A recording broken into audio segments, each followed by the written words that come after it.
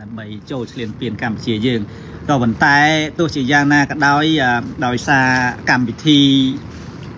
late schedule កាលវិភាគរបស់ខ្ញុំមានការយឺតយ៉ាវដោយរវល់ច្រើនពេកបាទសួស្តីសម្ដេចពុក Murphy Tan ហើយសម្ដេចកណយុ Robert Lee ដោយដោយសារមានការយឺតយ៉ាវនឹងការផ្សាយផ្ទាល់របស់ខ្ញុំ គឺខ្ញុំថ្ងៃនេះសូម ទុករឿងនយោបាយទុកឲ្យពូចៅលួចមន់3ចំនួនហ៊ុនសែនហ៊ុនម៉ាណែតនឹងរួចមកឃ្លាបចាស់ព្រោះថ្ងៃនេះជាថ្ងៃចុងក្រោយជាថ្ងៃចុងក្រោយនៃសប្តាហ៍ទី1នៃខែ1ឆ្នាំ2024អញ្ចឹងខ្ញុំចង់និយាយពីអវាទទូទៅ គឺអវាទដើមឆ្នាំ គឺជាយោបល់ដើមឆ្នាំក៏បានមិនថាអវាទក៏បានក៏គាត់ជាយោបល់ជាគំនិតជាមតិ ដើមឆ្នាំសម្រាប់ចែកជូនបងប្អូនប្រជាពលរដ្ឋខ្មែរយើងព្រោះ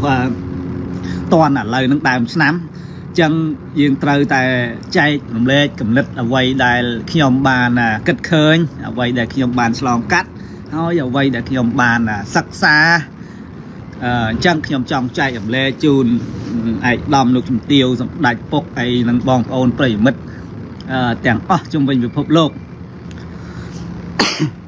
បាទអញ្ចឹងបាទធូស្រាលហើយអាដាមលឹមសខាសុំសែមួយសែមួយអាដាមអាចចុចបានទេនៅមេដៃនៅញ័រនៅឡើយ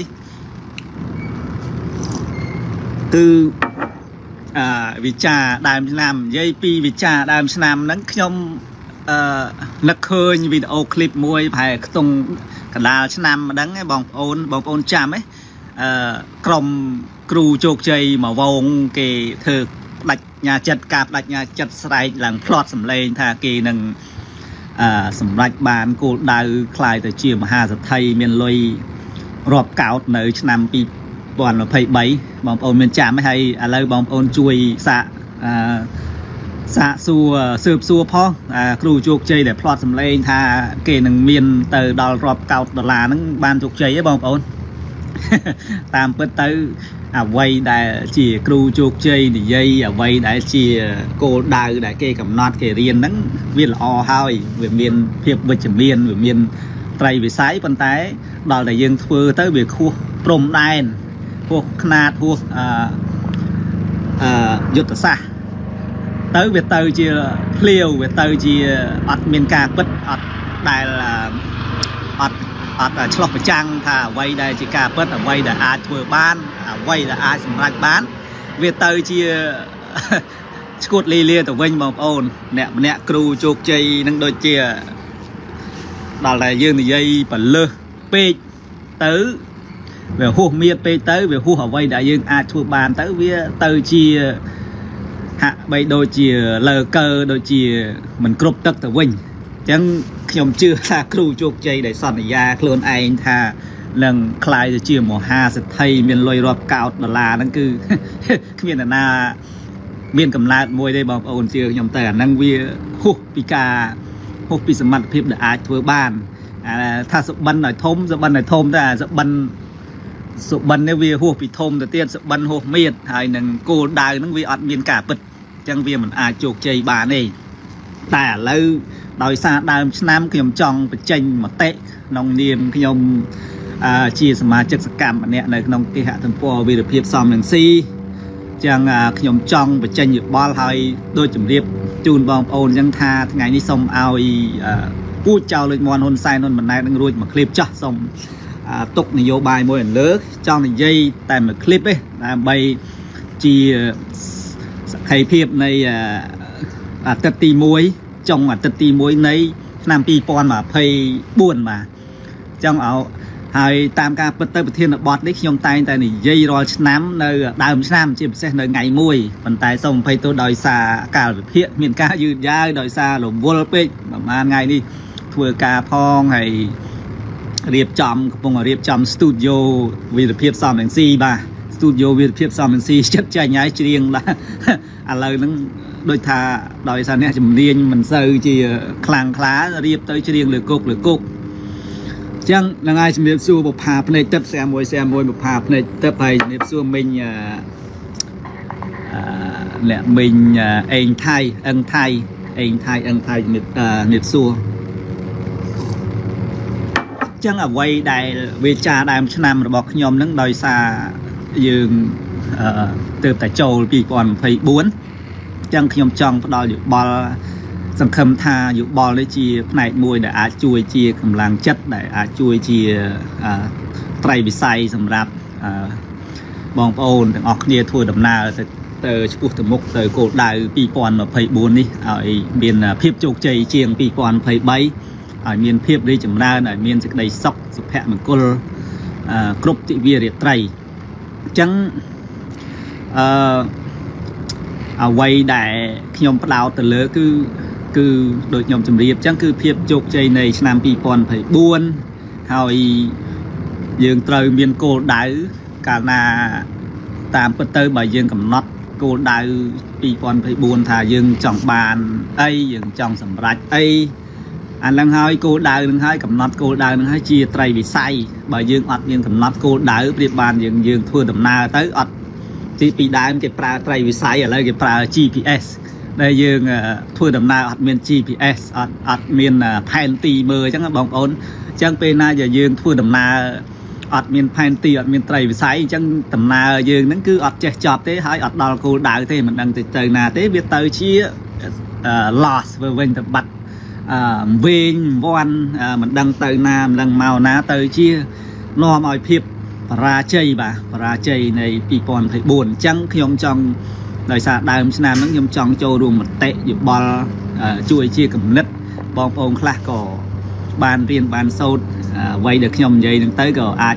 ធ្លាប់ដឹងធ្លាប់ឮហើយអានឹងចាត់ទុកថាជាការក្រើនរំលឹកបងប្អូនខ្លះមិនទាន់ដឹងក៏ចាត់ទុកថាជា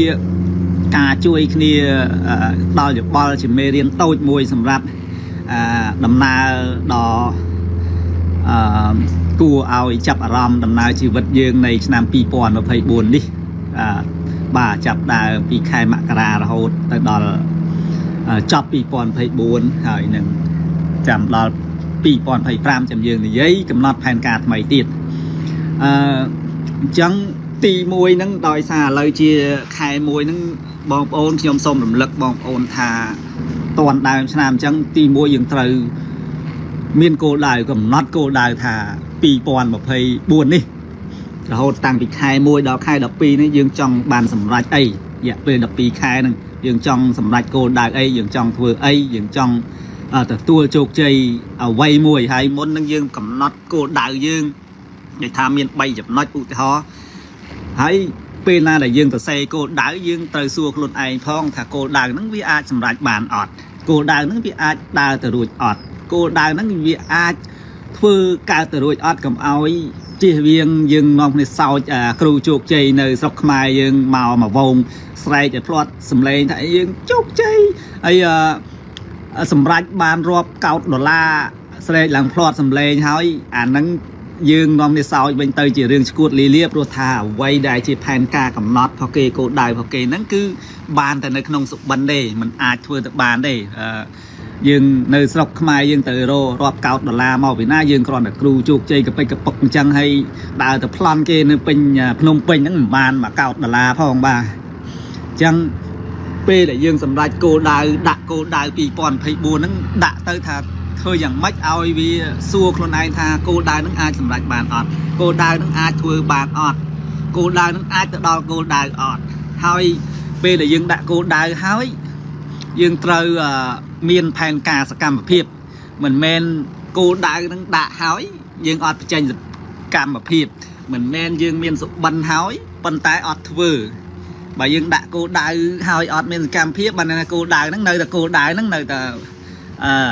វាអត់បានសម្រេចអីទេ ហើយបើយើងឃើញសុបិនថាយើងខ្លាយទៅជាមានសុបិនថាយើងអាចសម្រេចកិច្ចការអ្វីមួយធំប៉ុន្តែយើងអត់ធ្វើសកម្មភាពប្រចាំថ្ងៃ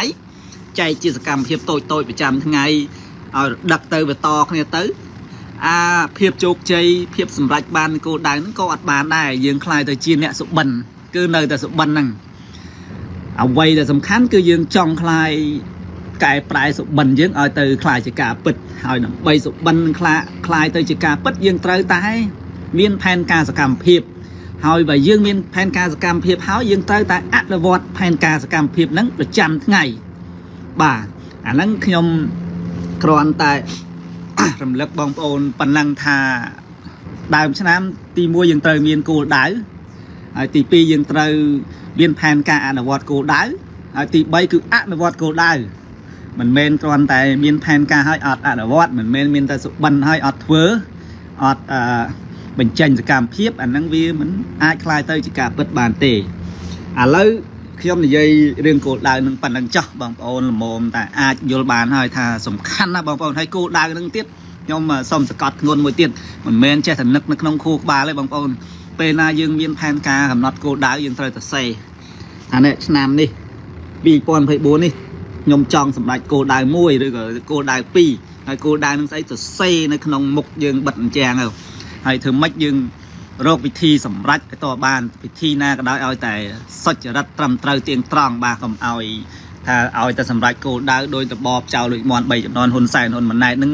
ប្លន់ឆន្ទៈរះលួចប្លន់ក្បត់ជាតិបត់ជាពលរដ្ឋចាប់គេដាក់គុកដើម្បីតែសម្រេចគោលដៅអំណាចដាច់ការខ្លួនឯងអាហ្នឹងអត់អទេគោលដៅដែលយើងធ្វើយុទ្ធវិធីដែលយើងធ្វើផែនការសកម្មភាពដែលយើងធ្វើ ធ្វើមិនឲ្យសុចរិតទៀងត្រង់ធ្វើមិនឲ្យយុត្តិធម៌ធ្វើមិនឲ្យត្រឹមត្រូវអឺអានឹងបានជាគោលដៅល្អបាទហើយសូមបញ្ចប់គោលដៅតែប៉ុណ្្នឹងចុះបងប្អូនល្មមអាចយល់បានហើយឥឡូវខ្ញុំនិយាយថាធ្វើមិនឲ្យបងប្អូនមានសុភមង្គលធ្វើមិនឲ្យបងប្អូនសុបាយចិត្តធ្វើមិនឲ្យបងប្អូនរស់នៅដោយភាពសុខដុមរមនាអឺតាមធម៌ប្រពុតមាន គេហៅថាមាន38មង្គលទាំង38មានច្រើនណាស់មានពឹសស្ដាមិនកុំឲ្យសែបគប់ជន់ពីលកុំឲ្យទៅលិទ្ធជង្គសាពះហ៊ុនសែនដោយសារជាជាកុំឲ្យ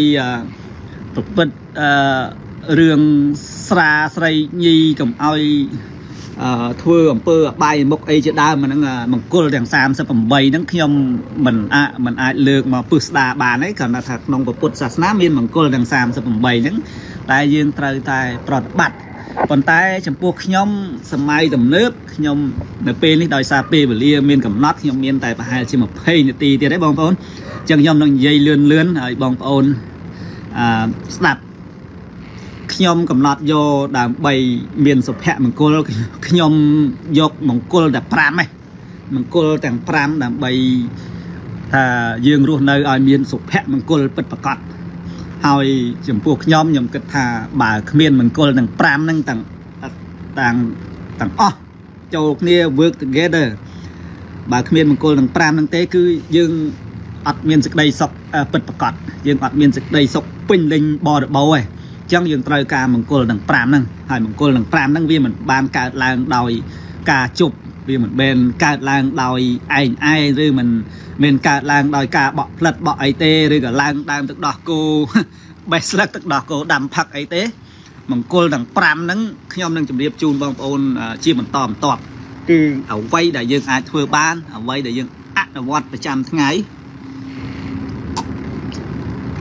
ហើយអ្វីដែលធ្វើទៅតាមលក្ខណៈវិជាសាស្ត្របាទមិនបាច់ទៅបក់ផ្លិតមិនបាច់ទៅបោចអីស្មៅអីដាំទឹកមិនបាច់ទៅ មានបារមីមានបាច់ទៅគ្រូចូលមិនបាច់ទៅរំប្រកាច់អីដើម្បីបានមង្គលនឹង5នឹងអត់មានលក្ខណៈជំនឿអរូបីជំនឿអកុសលចឹងទេគឺមង្គលទាំង5គឺមានលក្ខណៈជាសាសមានលក្ខណៈគេហៅ logic ដែលបងប្អូន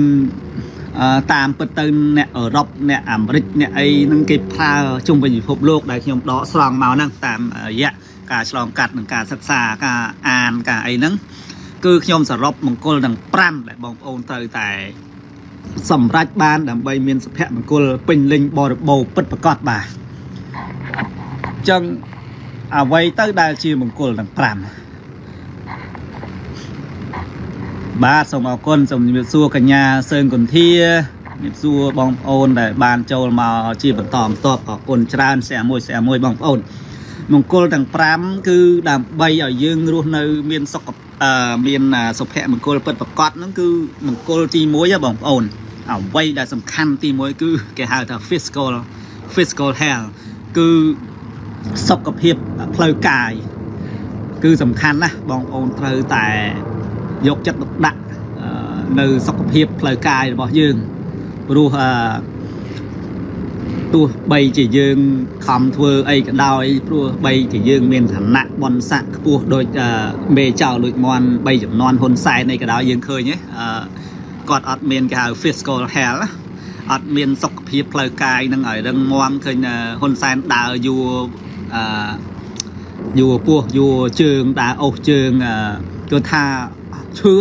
យើងគ្រាន់តែមើលគឺឈឺចុកចាប់គឺអត់មានសេចក្តីសុខទេដើរយុពោះក៏ផ្លេះផ្លេះដោយការទាទឹកអញ្ចឹងយើងមើលអញ្ចឹងទៅគឺមង្គលទាំង5បើប្រៀបធៀបទៅលោកធានសំនឹងស៊ីគាត់មាន physical health ហ្នឹងអាហ្នឹងជាផ្នែកមួយនៃមង្គលទាំង5ធ្វើឲ្យយើងសុបាយចិត្តហើយអឺតែយើងមានលុយមហាចក្រដោយហ៊ុនសែនយើងគាត់មានអំណាចអីដូចខ្លាដោះស្លាបនៅស្រុកខ្មែរអីចឹងទៅប៉ុន្តែក៏អត់សុបាយដោយសារអឺ រាងកាយរបស់គាត់សុខភាពរបស់គាត់គឺរស់នៅទាំងទៅដ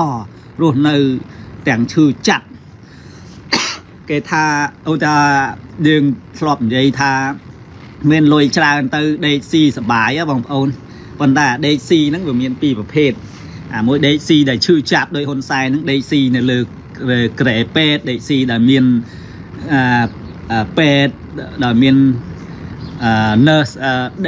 បច្ចុកអីចឹងទៅបច្ចុកបាយហ្នឹងអាមួយអាហ្នឹងដេកស៊ីដោយការឈឺចាប់ហ្នឹងអត់មានភង្គលទេអាមួយទៀតគេដេកស៊ីដែលមាន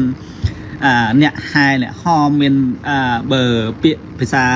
ខ្មែរយើងប្រុសប្រុសខូចខូចយើងថាមានស្រីក្មេងបច្ចុកអីចឹងទៅសបាយហឺហាចឹងណាដោយសបាយដេកស៊ីហើយបើដេកស៊ីហ៊ុនសែនហ្នឹងដោយសារគាត់មានអាសុខភាពផ្លូវកាយហ្នឹងគឺដេកពេទ្យបច្ចុកដេកស៊ីទាំងឈឺចាប់អាហ្នឹង មង្គលទី1ហ្នឹងគឺសុខភាពបាទត្រូវធ្វើម៉េចឲ្យអឺមានសុខភាពផ្លូវកាយនឹងឲ្យល្អបានយើងមានសុភមង្គលពេញលេញបាទយើងអឺឈឺចាប់ចុកចាប់រហូតមានលុយប្រមាណវល់លានក៏មិនសบายចិត្តដែរអញ្ចឹងបងប្អូនធ្វើយ៉ាងម៉េចខំថែទាំសុខភាពខំហាត់ប្រានខំគេងឲ្យលក់ស្រួលខំញ៉ាំទឹកឲ្យច្រើន អឺកុំញ៉ាំគ្រឿងសង្វឹងកុំខ្សែបគប់គ្រឿងញៀនអីជាដើមឡាក់ធ្វើម៉េចអឺដោយខ្ញុំនិយាយអញ្ចឹងគឺគេងឲ្យទៀងទាត់ញ៉ាំទឹកឲ្យច្រើន ហាត់ប្រាណឲ្យបានច្រើន ហើយពិនិត្យសុខភាពបើដូចនៅប្រទេសគេកុំកុំភ្លេចទៅពិនិត្យសុខភាពអឺមួយខែម្ដង ឬក៏មួយឆ្នាំម្ដង បាទដើម្បីធ្វើម៉េច រក្សាសុខភាពឲ្យបានល្អអានឹងហើយជាមង្គលទី1បាទជំរាបសួរសេរីប៊ុនឆៃបងសេរីបងសេរីខុតប៊ុនឆៃ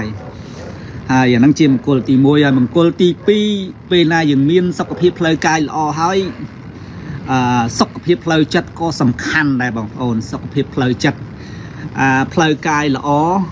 កម្លាំងខ្លាំងខ្លាមមួនមានសាច់ដុំមានអីហ្នឹងប៉ុន្តែបើសិនជាផ្លូវចិត្តយើងទុនខ្សោយ អា emotion អារម្មណ៍យើងទុនខ្សោយអារម្មណ៍យើងគិតតែអវិជ្ជមានអារម្មណ៍គិតថាព្រួយបារម្ភតុកសិចរហូតហ្នឹងគឺក៏អត់មានសេចក្តីសុខដែរហើយអារម្មណ៍អាការគិតហ្នឹងណាបងប្អូនវា powerful វាខ្លាំងណាបើសិនអារម្មណ៍គិតយើងហ្នឹងគិត លរឿងអបមង្គលគិតរឿងឈួតគួតអារម្មណ៍អាការគិតនឹងអាចទាញយើងរហូតទៅដល់ចងកសម្លាប់ក៏មានអាចទាញយើងរហូតដល់ប្រព្រឹត្តគ្រឿងញៀនចាប់រំលោភឬក៏ប្រព្រឹត្តអំពើអនាចារលួចប្លន់បាញ់កាប់សម្លាប់អីក៏មានដែរគឺ it's powerful អ្វីអ្វីវានៅចេញពីការគិតគួរក្បាលរបស់យើងហ្នឹងអញ្ចឹងសំខាន់ណាស់មិនមែនទៅអឺ ហាត់ប្រានលើកទៅសាច់ដុំរៀងស្អាតអីប៉ុន្តែអាខួរក្បាលអាការគិតអារម្មណ៍យើងហ្នឹងខ្សោយអារម្មណ៍គិតតែរឿងអពមង្គលគិតតែពិភពលោកនេះខ្មៅកងឹតស្មុកស្មាញអឺគឺគួរឲ្យភ័យខ្លាចអញ្ចឹងធ្វើឲ្យកាលណាអារម្មណ៍អត់ល្អយើងគេងមិនលក់យើងដេកមិនលក់យើងបក់មិនលហើយអញ្ចឹងធ្វើឲ្យរាងកាយយើងនឹងចុះទ្រុឌទ្រោមអញ្ចឹង អាផ្លូវចិត្តហើយផ្លូវកាយហ្នឹងវាតាក់ទងគ្នាបងប្អូនហើយអាផ្លូវចិត្តហ្នឹងខ្ញុំសឹងថាសំខាន់ណាសំខាន់មិនចាញ់ផ្លូវកាយទេអញ្ចឹងអឺសំណួរសួរថាធ្វើយ៉ាងម៉េចដើម្បីឲ្យផ្លូវចិត្តយើងសុបាយអាហ្នឹងតស៊ូអ្នកចិត្តវិទ្យាពឹស្ដារអ្នកជំនាញប៉ុន្តែខ្ញុំគ្រាន់តែចង់ឲ្យធីបចេះថាត្រូវចេះហាត់ពុតលត់ដំខ្លួនឯងត្រូវត្រូវដឹងការគិតរបស់ខ្លួន ការគិតហ្នឹង ត្រូវឲ្យយល់ចេះថានៅពេលដែលខ្លួនគិតរឿងអវិជ្ជមានហើយត្រូវបង្វែរអារម្មណ៍ទៅរកវិជ្ជមានវិញពេលណាខួរក្បាលយើងនាំទៅដល់ឲ្យអំពើរឿងអបមង្គលរឿងគួរឲ្យព្រួយបារម្ភ stress អីហើយយើងថាអូអារម្មណ៍របស់យើងអត់ល្អទេការគិតរបស់យើងអត់ល្អយើងត្រូវតែធ្វើម៉េចបំបាយអារម្មណ៍យើងគិតវិជ្ជមានគិតរឿងវ៉ាកងគិតរឿងអឺ អនាគតដ៏រចាស់រចង់គិតរឿងបើគិតរឿងអតីតដ៏ស្រស់បំព្រងអនុស្សាវរីយ៍ដ៏ល្អដែលយើងអាចច្បូតពុកមាត់ហើយញញឹមអញ្ចឹងណាកុំគិតអារឿងអបមង្គលកុំគិតរឿងគ្រួសារពេលដែលយើង stress នឹងកុំគិតរឿងរឿងគ្រួសារចង្រៃចោលព្រៃចោលលួចមន់ហ៊ុនសែនហ៊ុនម៉ាណែតហ្នឹងគឺឲ្យតែ stress ឡើងវិញយើងគិតថាអ្វីដែលល្អអ្វីដែលជាក្តីសង្ឃឹម កាលណាដែលយើងមានជីវិតរស់នៅគឺយើងត្រូវតែមានក្តីសង្ឃឹមហើយហើយយើងសំណាងហើយយើងនៅមានអឺជីវិតរស់នៅមកទល់សប្តាហ៍ថ្ងៃអ្នកខ្លះគាត់ជាអកុសលទៅអត់សំណាងទៅក៏គ្មានជីវិតអញ្ចឹងតែកាលណាយើងមានជីវិតយើងត្រូវមានក្តីសង្ឃឹមហើយកាលណាមានក្តីសង្ឃឹមយើងត្រូវតែខំធ្វើឲ្យក្តីសង្ឃឹមនឹងឲ្យសុបិននឹងខ្លាចជាការពិតហើយយើងនៅគិតថា ពិភពលោកនេះនរណាក៏មានការឈឺចាប់នរណាក៏មានឧបសគ្គនរណាក៏អឺឆ្លងកាត់នៅវិបត្តិអីទាំងឡាយនៅវិលវត្តសង្សារគឺជារឿងធម្មតា សំខាន់ជាយើងត្រូវមានការរឹងមាំសំខាន់យើងគិតរឿងល្អសំខាន់យើងត្រូវអនុវត្តផែនការគោលដៅឲ្យបានសម្រេចគោលដៅផ្នែកអឺគោលដៅអ្វីៗគ្រប់យ៉ាងដែលយើងដាក់កំណត់អញ្ចឹងឲ្យតែយើងត្រូវចេះ identify កំណត់ខ្លួនឯងកត់សម្គាល់ខ្លួនឯងថាបើសិនជាខ្លួនឯងនាំគិតរឿងអាក្រក់ហើយត្រូវបំបែអារម្មណ៍ខ្លួនឯងត្រូវទៅចតនៅកន្លែងដែលល្អពេលណាយើងចាប់ផ្ដើមព្រួយបារម្ភចាប់ផ្ដើម stress បងប្អូនត្រូវគិតទៅជុំកាលអាចដាក់រូបភាពដ៏ស្រស់បំព្រងនៅមុខទៅប្រុសខូចខូចដាក់ស្រីស្អាតអីចឹងទៅធ្វើឲ្យយើងញញឹមខ្លះស្រីស្រីនឹងដាក់អីទេសភាពនៅមាត់សមុទ្រគិតថាខ្លួនឯងនៅ ពងរែអង្គុយសង់តែម៉ងមានបរោះកំពូលស្នេហ៍ណាគៀកស្មាពាក់វ៉ែនតាខ្មៅអង្គុយមើលទេសភាពអង្គុយមើលព្រះអាទិត្យកំពុងតែអស់ស្ដង់គុតដល់ចិញ្ចែងចិញ្ចាចអីចឹងទៅយើងធ្វើមិនគិតអឺខ្លួនយើងនាំខ្លួនយើងនឹងទៅគិតអឺរឿងវិជ្ជមានទៅនឹងធ្វើឲ្យយើងសប្បាយចិត្តបាទអាហ្នឹងអញ្ចឹងបានថាផ្លូវ ផ្លូវកាយនិងផ្លូវចិត្តហ្នឹងគឺឲ្យវាស្របគ្នាឲ្យវាមានផាសុកភាពដូចគ្នាទើបយើងមានអឺសុភមង្គលអាហ្នឹងជាមង្គលទីទី2គឺទី1ផ្លូវចិត្តទី1ផ្លូវកាយទី2ផ្លូវចិត្តអញ្ចឹងទៅឲ្យវាដើរបានប្រោបគ្នាហើយដើម្បីឲ្យសម្រេចសុភមង្គលដូចខ្ញុំនិយាយអញ្ចឹងមង្គលនឹង5ហ្នឹងទី3គឺស្អីគេបងប្អូន ទី3គឺលុយគឺ money គឺហិរញ្ញវត្ថុអឺ ជាការពិតណាស់អ្នកខ្លះគេចេះតែថាអូលុយមិនអាចទិញសុភមង្គលបានទេលុយមិនអាចទិញអ្វីអ្វីទាំងអស់បានទេជាការពិតលុយមិនអាចទិញអ្វីអ្វីទាំងអស់បានទេក៏ប៉ុន្តែលុយគឺជាផ្នែកមួយដ៏សំខាន់បំផុតនៃមង្គលទាំង5ហ្នឹងបងប្អូនបាទជំរាបសួរមេតបនេះដីចំណូល ស្ដាប់អ្នកជោគជ័យម្ដងជោគជ័យនេះប៉ុន្តែមិនសន្យាថានឹងคลายទៅជាមហាសទ្ធិមានលុយរាប់កោតដាច់ឆ្នាំ2024ទេបាទព្រោះអ្នកគ្រូជោគជ័យឆ្នាំ2023គេនាំស្រែកគ្នាស្រែកផ្្លាត់សម្លេងថានឹងคลายជាមហាសទ្ធិមានលុយរាប់កោតឥឡូវផែអឺមិនដឹងតាណាអស់ហើយខ្លះញៀនមកខ្លះញៀនកឆាខ្លះញៀនអឺញៀនកឆុងយ៉ាបាយ៉ាម៉ាមហាកឆាកឆុងអស់ហើយអឺ គឺដាក់កំណត់គោលដៅដែលมันអាចធ្វើបានអញ្ចឹងវាទៅជាឈួតទៅជាលើកើទៅវិញអញ្ចឹងមង្គលទី3ដែលយើងត្រូវដែលសម្រេចបានគឺហិរញ្ញវត្ថុយើងអាចថាយើងអាចនិយាយបានថាលុយมันអាចទិញអ្វីៗទាំងអស់ជាការពិតលុយมันអាចអឺធ្វើឲ្យយើងសบายចិត្តទាំងស្រុងទេជាការពិតក៏ប៉ុន្តែលុយក៏ជាកត្តាសំខាន់បំផុត វាយើងមិនមែនតតែមានរាប់កោតរាប់លានមិនសុបាយចិត្តទេក៏ប៉ុន្តែយើងត្រូវការលុយក្នុងចំនួនមួយដែលអាចធ្វើឲ្យយើងសុបាយចិត្តគឺយើងត្រូវយើងត្រូវការណាស់បើយើងអត់មានលុយល្មមដែលអាចយើងរស់បានល្មមដែលអាចយើងមានអាហារមានចម្រោកមានអឺលុយសម្រាប់ឲ្យកូនទៅសាលា សម្រាប់វ៉ាកងតិចតួចសម្រាប់ធ្វើដំណើរសម្រាប់ការអប់រំសម្រាប់ទិញផ្កា Valentine ឲ្យចំនួននេះដី បើយើងអត់មានលុយល្មមតែអាចរស់នៅបានអឺអាចទិញម្ហូបបាន បើយើងអត់លុយសោះ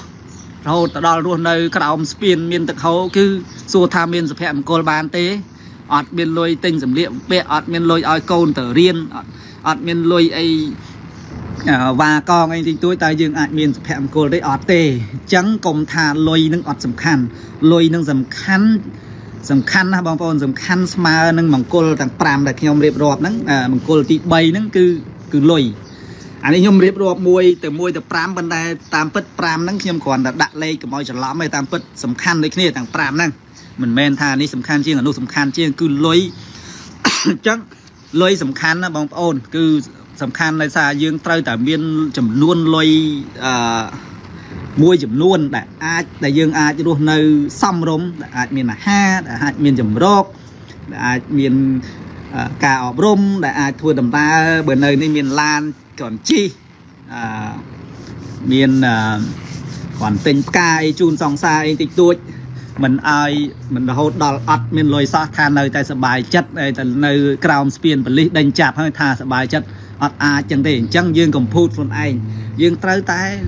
ធ្វើរកវិធីយ៉ាងម៉េចរកលុយរកលុយឲ្យបានខ្លះយកលុយឲ្យបានកាន់តែច្រើនកាន់តែល្អនិយាយទៅលុយប៉ុន្តែសូមឲ្យរកលុយដោយភាពសុចរិតទៀងត្រង់មិនមែនរកលុយទៅលួចជាតិប្លន់ជាតិ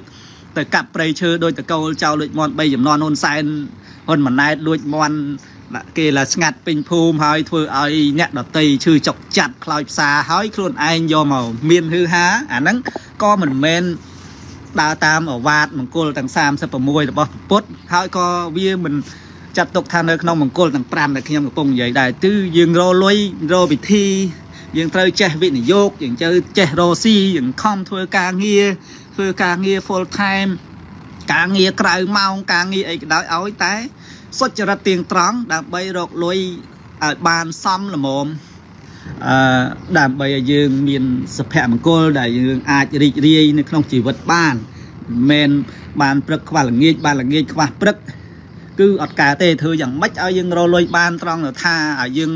រស់នៅស្រួលបានមកហូបហូបបាយពីរពេលហូប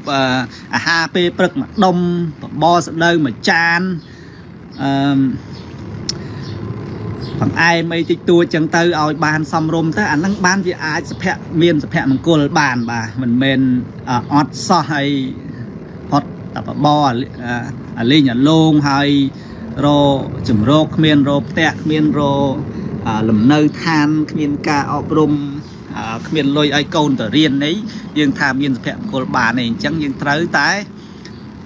លុយកតាសំខាន់ណាយើងត្រូវតែរកវិធីរកលុយឲ្យបានល្មមសព គ្រប់គ្រាន់ដើម្បីជាកតាមួយនៃមង្គលទាំង5ហ្នឹងតែដើម្បីឲ្យคลายជាអ្នកមានអាហ្នឹងជាយុទ្ធសាស្ត្រផ្សេងទៀតអាហ្នឹងយើងមិននិយាយទៅដល់ហ្នឹងទេទុកឲ្យគ្រូជោគជ័យគេនិយាយចោះអឺឥឡូវកតាដែលសំខាន់មួយទៀតអូដោយសារដល់ម៉ោងខ្ញុំនឹងនិយាយលឿនលឿនតិច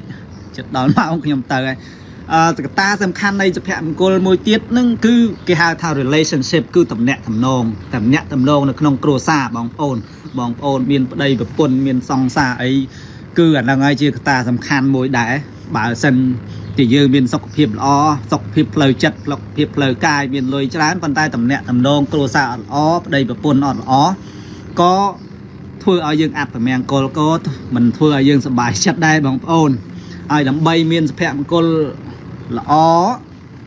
យើងសួរខ្លួនឯងមើលឧទាហរណ៍ថាឥឡូវគ្រួសារមួយសួរប្តីប្រពន្ធមើលថាតើយើងចោះសម្រងគ្នាអត់តើយើងដាក់លុយចូលមួយគ្នាអត់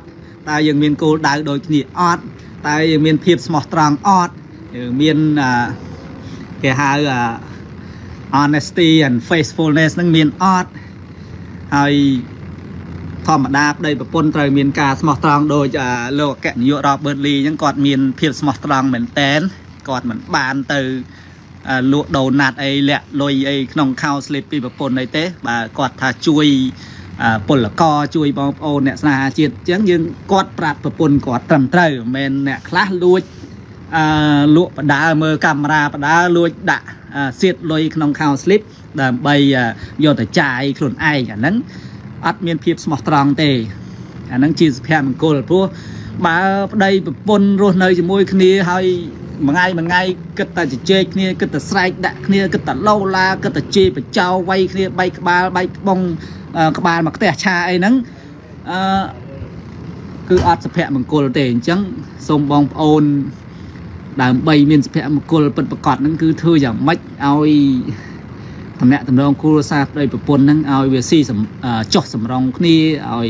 ត្រូវຕົកលុយជាមួយគ្នាត្រូវមានគោលដៅដូចគ្នាត្រូវស្មោះត្រង់នឹងគ្នាកុំលាក់លុយកុំលួចលុយកុំលួចមានស្រីកំលួចញ៉ែ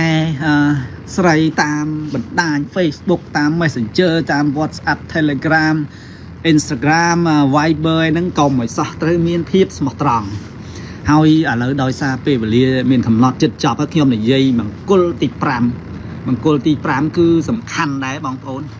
គឺធ្វើយ៉ាងម៉េចគឺពេលវេលាពេលវេលាហ្នឹងបងប្អូននិយាយទៅដូចថាអ្នកខ្លះអត់ចាប់អារម្មណ៍ទេ5 more minutes you find the phone yeah. okay 5 more minutes no 2 more minutes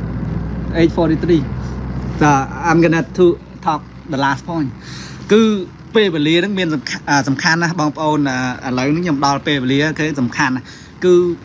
ត្រូវចេះរៀបចំពេលវេលារៀបចំពេលវេលាយ៉ាងម៉េចបងប្អូនដែលឃើញ ពេលវេលាមានស្មើគ្នាទេមួយថ្ងៃមាន24ម៉ោងមានមួយអាទិត្យមាន7ថ្ងៃមួយខែមាន30ថ្ងៃមួយឆ្នាំមាន365ថ្ងៃមានស្មើគ្នាប៉ុន្តែហេតុអីបានជាអ្នកខ្លះអឺមានពេលវេលាដើរលេងកំភើយហើយធ្វើការរលុយហើយមានវាកងមានអីរំភើបប៉ុន្តែអ្នកខ្លះឃើញតែរវល់អាហ្នឹងដោយសារអីដោយសារអត់ចេះបែងចែកពេលវេលាអត់ចេះ ធ្វើអ្វីដែលសំខាន់អត់ចេះគេហៅ prioritize អត់មាន priority អ្នកណាអ្វីដែលត្រូវធ្វើអ្វីមិនគួរធ្វើអ្វីត្រូវធ្វើមុនអ្វីមិនគួរធ្វើអ្វីត្រូវធ្វើក្រោយត្រូវចេះចាត់ចែងរៀបចំពេលវេលាបើមិនអញ្ចឹងឲ្យ stress បងប្អូនគិតតើរត់រហូតរត់ទៅនេះរត់ទៅនោះរត់ទៅនោះដោយសារយើងមិនចេះបែងចែកពេលវេលាបានត្រឹមត្រូវហើយឧទាហរណ៍ណាឧទាហរណ៍ដូចជំទាវនេះរដីជំទាវផ្កាជាដើមចុះ ទាវផ្កាគាត់មិនម៉ាយប៉ុន្តែគាត់មិនម៉ាយស្ដុកហើយគាត់ចេះបែងចែកពេលវេលាត្រឹមត្រូវគាត់ធ្វើការពេញម៉ោងជុំការគាត់ធ្វើការអូវថែមលើសម៉ោងទៀតគាត់មើលកូនគាត់មើលឪពុកគាត់ឈឺសម្ដេចមើលហ្វីតាន់នឹងគាត់ហើយធ្វើការផងមើលកូនខ្លួនឯងផងធ្វើការ full time ផងហើយគាត់រៀបចំចាត់ចែងការងារដូចភ្នំនៅគេហទំព័រវិទ្យាភាពសំនឹងស៊ីទៀត តែគាត់នៅតែមានពេលដើរលេងគាត់នៅតែមានពេលឲ្យពេលវេលាជួបសង្សារធរគាត់ដើរលេងមួយសង្សារធរគាត់អឺគាត់ជួបសង្សារធរគាត់ដើម្បីឲ្យសុភមង្គលហើយគាត់មានពេលស្មើដូចយើង24ម៉ោងក្នុងមួយថ្ងៃមួយអាទិត្យ7ថ្ងៃមួយខែ30ថ្ងៃមួយឆ្នាំ365ថ្ងៃដូចគ្នាប៉ុន្តែគាត់មានពេលចែកគាត់ធ្វើការ full time ផងមើលកូនផងមើលឪពុកផងដើរលេងផងជួបសង្សារធរផងនឹងដោយសារអី មិនគាត់មាន20 5ម៉ោង26ម៉ោង30ម៉ោងមួយថ្ងៃទេគាត់មាន24ម៉ោងដូចគ្នាហ្នឹងប៉ុន្តែដោយសារគាត់ចេះរៀបចំបែងចែកពេលវេលាគេហៅ time management បាទអញ្ចឹងដោយសារពេលវេលាមានកំណត់ហើយខ្ញុំត្រូវទៅបំពេញកិច្ចការមួយទៀតអញ្ចឹងខ្ញុំសូមអឺ ដូចថាបញ្ចប់ការ live show តែមុននឹងបញ្ចប់ខ្ញុំសូមធ្វើម៉េចឲ្យបងប្អូនរំលឹកបងប្អូនថាសំខាន់ណាស់មង្គលទាំង5ហ្នឹងគឺធ្វើម៉េចឲ្យបងប្អូនសប្បាយចិត្តឲ្យមានសុភមង្គលពេញលេញត្រូវថែទាំសុខភាពផ្លូវចិត្តទី1ទី2ផ្លូវកាយទី3ត្រូវធ្វើម៉េចហិរញ្ញវត្ថុយើងឲ្យខំរលុយឲ្យបានច្រើនអាចធ្វើទៅបានហើយទី2ត្រូវមានតំណែងតំណងប្តីប្រពន្ធស្មោះត្រង់ស្មោះសរកុំមានការ ផិតក្បត់ត្រូវដាក់លុយមួយគ្នាត្រូវមានគោលដៅរួមគ្នាហើយទី5ហ្នឹងគឺត្រូវមានការបែងចែកពេលវេលាត្រឹមត្រូវកាលណាយើងមានភាពរីចម្រើនរុងរឿងសុខដុមរមនាផ្លូវចិត្តផ្លូវកាយផ្លូវហិរញ្ញវត្ថុជីវភាពធូរធារតំណែងតំណងល្អក្នុងគ្រួសារហើយចេះបែងចែកពេលវេលាឲ្យបានល្អទៅពេលនោះយើងនឹងមានភាពជោគជ័យយើងនឹងមានក្តីសុខក្សែមសាមមានសុភមង្គល ហើយពេលណាយើងដែរយើងមានធម៌ពលល្អទៅមានធម៌ពលមានកម្លាំងកាយមានការសប្បាយចិត្តទៅជំរុញឲ្យយើងទាំងអស់គ្នាហ្នឹងអ្នកជាតិនិយមទាំងអស់គ្នាហ្នឹងគឺអឺមានកម្លាំងអឺចូលរួមចលនាសំនឹងស៊ីនិយមទាំងអស់គ្នាឲ្យកាន់តែកក្រឹកកក្រែងដោយក្តីសោមនស្សកាន់តែល្អហើយធ្វើឲ្យបេសកកម្មអឺចូលរួមបោចសក់ជនផ្ដាច់ការស្ដារប្រទេស កម្ពុជាយើងឆាប់បានជោគជ័យនៅពេលខាងមុខឆាប់ឆាប់នេះចឹងសូមជូនពរជូនជ័យសេរីសួស្តីសុភមង្គលវិបុលសុខដល់បងប្អូនប្រជាពលរដ្ឋខ្មែរយើងជុំវិញពិភពលោកកំបីអខានឡើយ